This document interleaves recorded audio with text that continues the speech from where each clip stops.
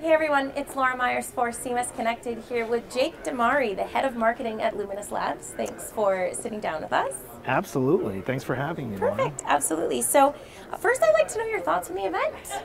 Well, I think this has been great so far. I mean, um, Luminos Labs is, uh, we're exclusively an Episerver digital commerce partner when we are very focused on the digital commerce uh, aspect of, we don't, we don't take CMS projects, um, um, you know, that that's our thing. Mm-hmm. And uh, we've, we've been coming to this event year over, year after year. And I think the most exciting thing this year is that you really see Episerver making good on the promises as far as their roadmap is concerned. Mm-hmm. Right? The all these products, uh, you know, are coming online piece by piece, and I think that was really smart. Um, you know, to, to take it a chunk at a time, pull it together, and in the background, everything is integrated. Mm-hmm. So you can um, you know, come up with some personalization in Perform and, and use that same data someplace else, like mm-hmm. uh, uh, personalized find. It's impressive.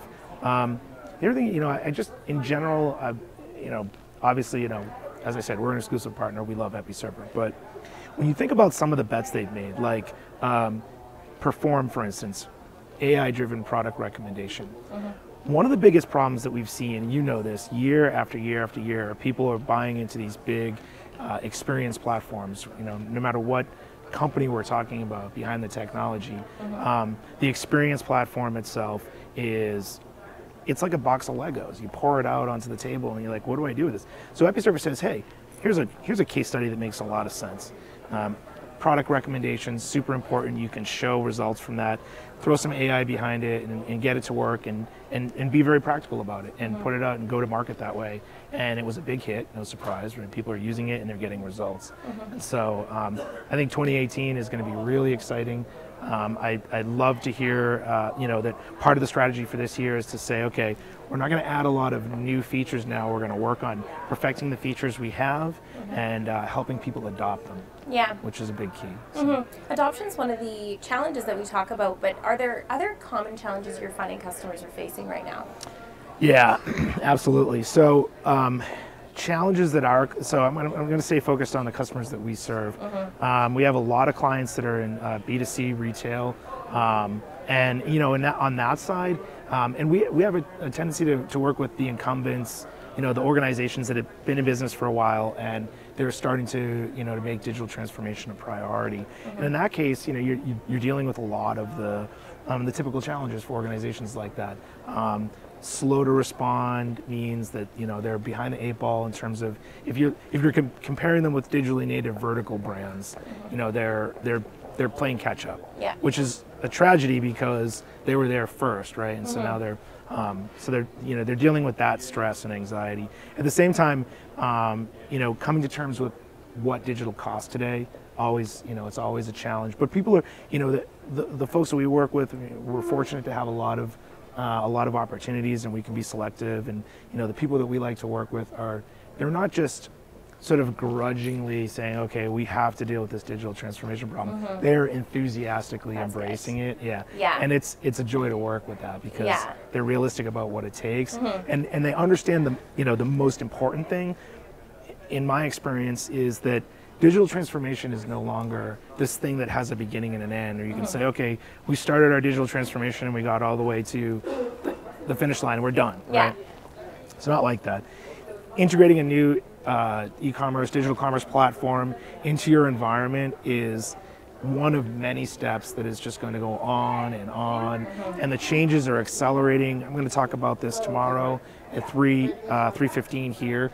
Um, you know, like who could have predicted that you could push a button now? Amazon has these dash buttons, right? Yeah. I don't even have to go onto a website anymore mm-hmm. with certain CPG, um, you know, certain packaged products.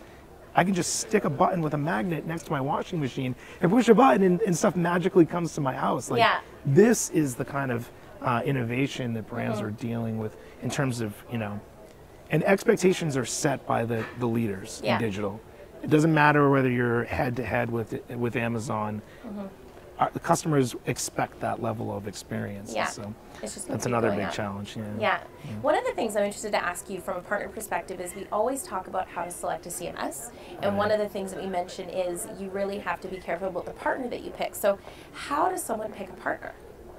Well, that's a great question. Um, you know, traditionally, when you were picking the technology platform, um, it was kind of a one and done decision for a few years. You might say, well, we're going to capitalize this project out over five years. So we do business with EpiServer today, and then we wouldn't talk to them. That's no longer the case. Now, uh, especially with um, this, the overwhelming success of Digital Experience Cloud, the vendors are also on the hook for a much uh, tighter relationship with the customers.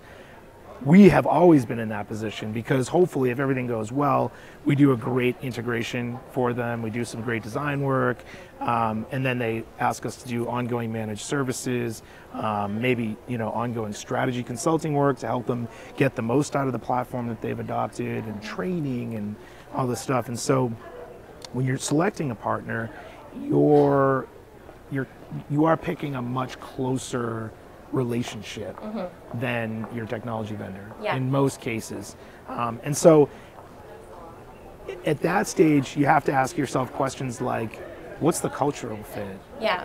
is this the right price point for us over the long term? Yeah. Is this some, you know, I, I, I, I probably read this in a management book somewhere at some point in my life, but it's a pretty simple test.